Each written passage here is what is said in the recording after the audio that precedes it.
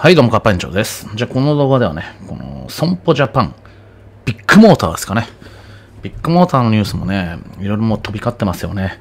もうビッグモーター単体、ビッグモーターだけの話じゃ、もう結構前からね、あのいろいろあちこちつるんで絡んで、ね、一緒になって、まあ、寄ってたか、寄ってたかってというか、どいつもこいつも、ね、思いのままに、まあ、いわゆる我々一般日本国民、日本のこの消費者を、まあ、食い物にしてたわけですよね。どいつもこいつも。ね、お互いに嘘ついてごまかしながらね。うん。で、まあ、それが今順番にバレてってる。バレかけてる。ね。うん。大体これ、こういうのってよくあるパターンですよね。官民一体となって、ね。うん、で、この上の方、まあ、なんだろうな。親ネズミっていう言い方がちょっと当たってるかどうかわかんないですけども。そこ、ここまで来られたらまずいと。ね。だ今回だったら、まあ、ちょっとビッグモーターね、あそこでもうしまいにしとけと。なんとかしてこいみたいな。うん。まあでもなんかどうやらずるずると、ね、今度はあの保険屋、で、保険屋からの、えー金融庁、あとはまあなんか、顧客情報流出もあって、今度消費者、消費者庁もな動いたとかなんとかってね、いろいろと、えーこういう時にほら、ね、この降りてきて、けしからんなっつって動き出す奴らこそ怪しいっすよね。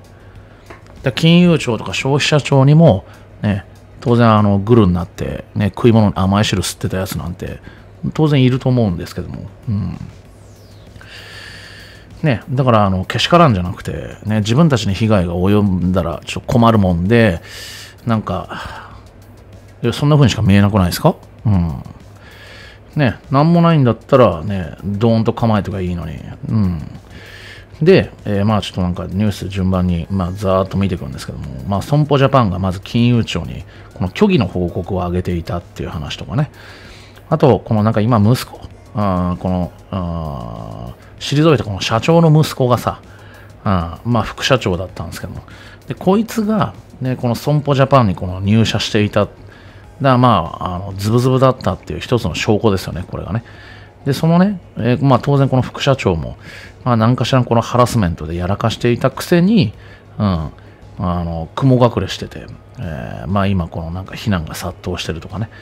で、しかもそれで、あまりにこの非難が殺到したもんだから、あまあなんか、しかも、代読なんですよね。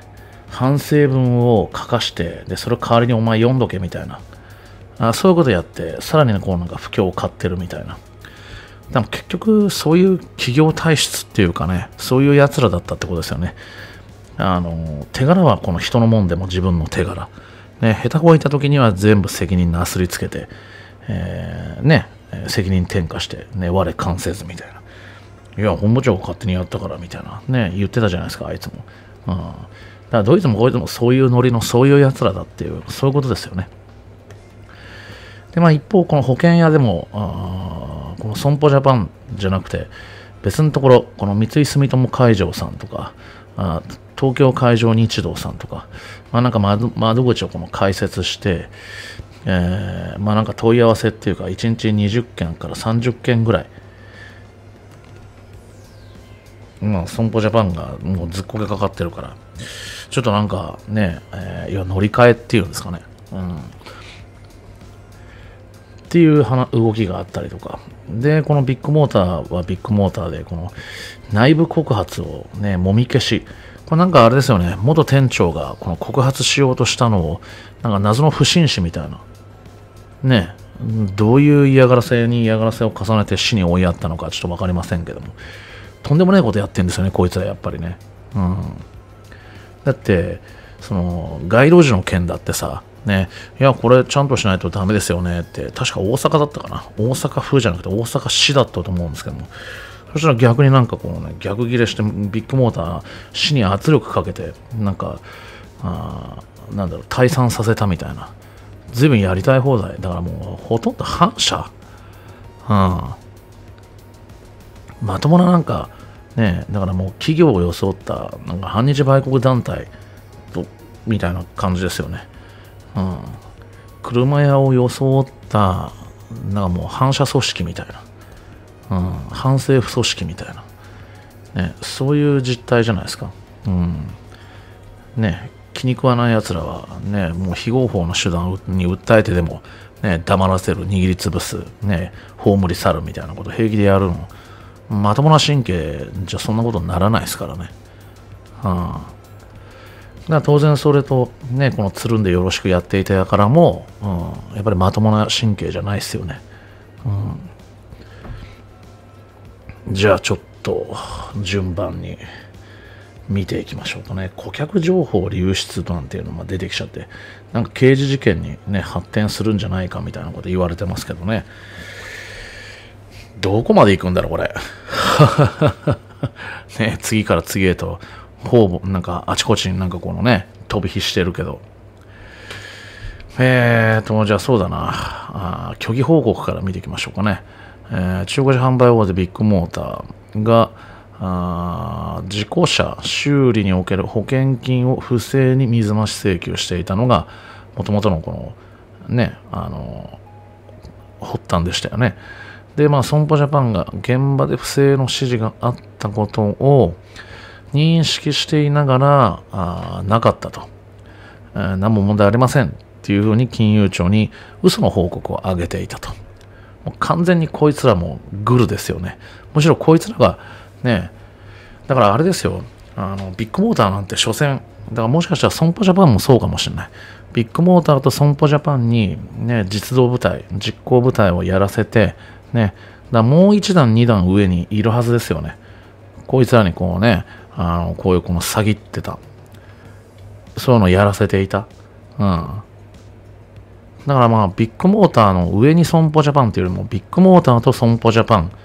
で、その上は、なんだろう、やっぱり、ね、例えば国交省とかさ、ね、この、ね、金融庁とか、あるいはなんかこの消費者庁みたいなやつも出張ってきたから、うん、だからもう官民ですよね。だからもう今度はその、もう一段はやっぱり、うん、そういう輩じゃないですか。うん。って思いますけどもね。あ汚ねえよな、どいつもこいつもな、ほんとな。うん。で、えー、で、まあ、その、綾野社長の息子ですよね。こいつが損保ジャパンに、えー、入社していた。えー、という大学卒業後、損保ジャパンに入社していたんだってさ。ビッグモーター前社長で、まあ、不正の多くを指揮していたとされている、あの、なんだっけ、えー、重松前社長ですよね。うん。だからまあ、その、ん？えー、前社長の息子だから副社長ですよね。が、あ損保ジャパンに、えー、いたことがあるっていうことですよね。うん。で、まあなんかこれ以上はご容赦くださいみたいなあ感じで、まあバックで続けてるらしいんですけども。で、えー、まあその、なんだろう、不正に直接、まあ今の、なんだろう、泉専務、ん？当時専務か、今の社長でしたっけ？えー、っと、パワハラ報道の副社長ですよね。まあ雲隠れしていて、えー、まあ、会見で反省文を代わりに読ませたっていう、うん、なんだろうね。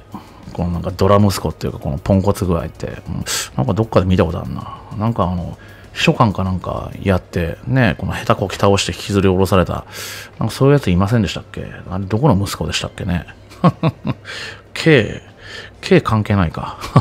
まあいいか。うん。だから息子のね、えー、副社長は、ね、なんで出てこねえんだよと。うん。まあ、なんか息子の方がいろいろ調べると、この悪評っていうかね、いろいろやらかしていた、うん、そういうなんか問題のある、うん、要注意人物みたいな、くせ者らしいんですけども、がどうやら世間から逃げ回ってるらしいんですよね。うん、で、えっ、ー、と、その住友海上と、東京海上日動でしたっけ。うんと保険金不正請求問題をめぐって損保大手ですよね、えー、契約者専用の問い合わせ窓口を開設するなど対応を急いでいると、まあ、ビッグモーターで車を修理した契約者などから、えー、1日平均20件から30件の問い合わせが来るんだってさ、うん、ほんで、えー、まあそれで消費者庁が参戦するっていうのはこの内部告発のもみ消しですかね。社内で告発があったにもかかわらず、うんもみ消していたと。うんまあ、それぐらいのことを平気でやるようなやつらだったってことですよね、やっぱりね。うん、で、顧客情報の流出。これ本当に流出なのかな？売ったとかじゃねえの。うんえー、まあ、あくまでもまだ疑惑、疑惑が浮上している段階なんですけども、情報漏洩もあったと。あ自動車保険の保険金不正請求問題がもう拡大の一途ですかね。えー、街路樹の件とか、あとまあ何かしらこのハラスメントのこの訴訟とかね。で、えー、個人情報だと。これが今、どうなんだろう、最新になるのかな。まあなんかディーラーの見積もりが230万、ね、ビッグモーターから160万の見積もりが出されたと。で、当然納得いかないから断ったお客さんがいて、そしたらすぐ、なんか別な業者を語るやつが、あなんかこう、もう一回コンタクトを取ってきたと。何なんだと。で、改めて確認すると、ビッグモーター店舗の近くで、えー、個人情報が書いてある紙が落ちていたと。わけのわからん内容をし、なんか、そういう言い訳をしてきたらしくてね。なんだろう。取り立てに行ったら、ね、断られちゃったから、なんか、あのー、あれを売り飛ばしてさ、ね、うん、ヤクザモンがこの出張ってくるみたいな、そういうのによく似てますよね。まあもうまともな企業ではないのかな、やっぱり。うん。まあ早いところ、これもね、あの決着つけたいところですよね。どうなんですかね、ごなたあなたはこのビッグモーターさんに世話になったこととかあったりします？うん。ね代わり他にいくらでもいるんだからさ、ていうか、どこでもやってることなのかなこの、この業界もね、どっちかというと、あクローズドな、ね、なんか内輪でよろしくやってそうな、そういう業界じゃん、どっちかというと。一般的ではないですよね。うん。まあ、なんか個人的なイメージなんで、どこまで本当か分かりませんが。ということでね、えー、でもなんかな、あれですよね。本当に、本当にこのなんか潰しておかなきゃいけない奴らは、なんか生きながられちゃいそうな、うん、ビッグモーターと保険屋止まりみたいな感じにさせられちゃいそうな気がしますけどもね。うんえー、今回は以上です。ありがとうございました。ではまたごきげんよう。